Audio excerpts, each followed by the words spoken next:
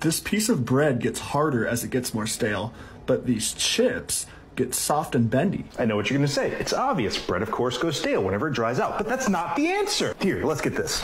If the culinary world had a Grey's Anatomy, this would be it. And it's because of Harold McGee. And it's right here on this section the staling process, storing, and refreshing bread. As we can see here in 1852, they were able to test and verify that even if sealed and never losing any water, the bread still goes stale. Essentially, what happens is when you cook bread, the starch becomes all mixed and gloopy. Through a process called retrogradation, the starch molecules begin to realign and crystallize. This crystallization is what's called staling. Retrogradation happens the fastest about 8 degrees Celsius or 46 degrees Fahrenheit, which is why you should never put bread in the fridge. As to why the corn chips get floppy, this is basically because they're fried, so they have very low moisture content, so as they're left out, they absorb moisture in the air.